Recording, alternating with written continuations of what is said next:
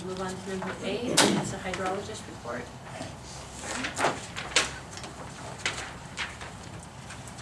The uh, Nickel Creek BLM agreement, that's uh, been signed then and, and uh, been sent to BLM. So They'll start addressing on that. Check been cut. Yeah, check's been cut.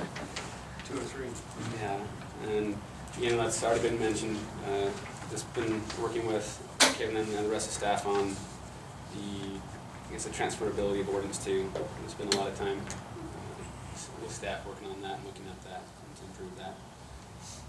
Uh, Also provided the uh, Division, Nevada Division of Water Resources, they called and requested some information on our wells and water rights and sent that to them. The. Is that pretty much standard? Yeah, for the most part. They, uh, were looking at drill logs for, for different places of use of water.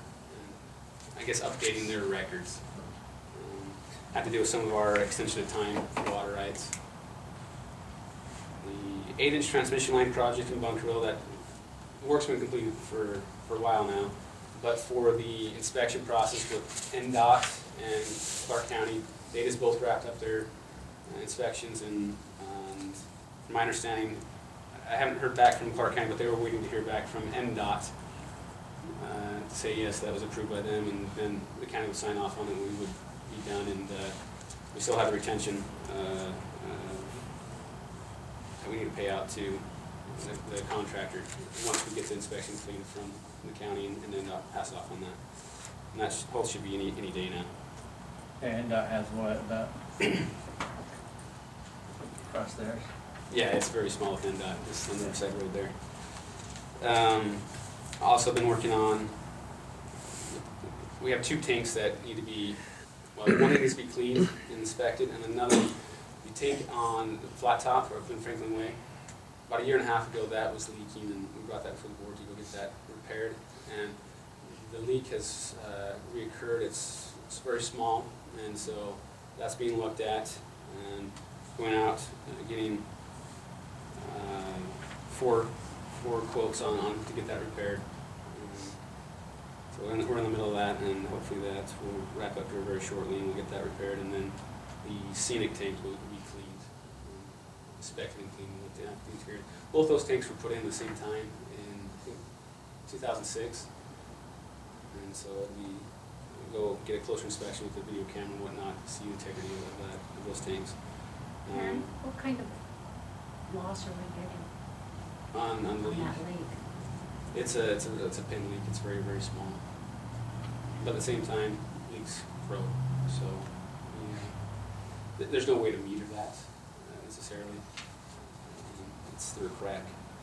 Um, Is the water making it to Mesquite? no, it, That's the why the Colorado floods. there you go. Uh, Shouldn't joke about that. Um, also finished up on water quality sampling, got the report back on that. And then also, there's another attachment with my report, specifically on updating the water use by, by hookup residential. The last time we kind of looked at that was 2007 in our, uh, conservation plan. Actually, I had someone call in and and wanted an update on that, so I asked, working on that for them, I, I looked at that and also created a table with ERUs or equivalent residential units. And there's a ratio in our, um, that we use per, per each meter size. And so I, I, I put that and was able to go across all, all water use and, and get a, uh, I guess an ERU for, for use over the years. And that's kind of interesting to be able to compare those. Um, And that, that'll be used, will be beneficial in our, our, look at structure, the rates and, and things of that nature, so. That's, oh, and also last time we talked about the, um, wilderness area, and in regards to the Nickel Creek, we looked at that. And the best I can tell, it is about, it's just under a, a half a mile, uh, well, not under, I'm sorry, just over half a mile, between three quarters of a mile and a half a mile from, from that point of diversion of Nickel Creek uh, stream area. And that's what, what they call the, uh, there's an instant study area. of- Right. And that's there's a corner of that, and that's also what's being proposed as wilderness, which, again, there's, there's roads up there, so it doesn't necessarily uh, fit the criteria of wilderness if there's roads already there, so it'll be interesting how that plays out, but with instant study area, that is uh, similar to a wilderness area. That's how they kind of mean that, so. It- Just to make sure I- I got my story straight, I was looking at a, at a map yesterday, as a matter of fact, of the proposed wilderness, proposed NCA. Um, and if I understand it correctly, the road that we're requesting out of BLM is, does not um, go through any part of the proposed wilderness.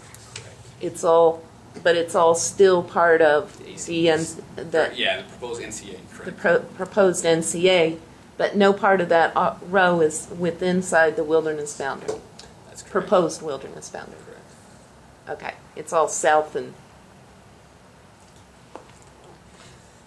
whatever, Yeah, all twisted around. it'll be northeast. North, northeast. Yeah, Yeah, northeast, because it's over there, so to speak. sort of, you're. If we were standing there, it would be like that. Yeah. Yeah. Okay. And then I also have a question about this water usage mm-hmm. chart, but I'll let Kent ask his question. You know what, the question just would have let Aaron know that a pre-existing road does not preclude wilderness. I used to go camping in campgrounds that had picnic tables, drop toilets, fire reeds, that got declared as untrampled wilderness. It got all plowed away and removed. Down by Cave Lake. No. But it was in the statement. Wes? Wade. Wade. Wade Wade Cousins. Cousins, General Manager, Lincoln County Water District, just for your information, uh, Lincoln County has seven hundred and eighty thousand acres of wilderness. And when that was instituted, uh, they told us that all of our roads were going to be che- cherry stemmed in or grandfathered in as, um, access to those wilderness areas. Um, after about three years, the BLM came back and started closing the roads off.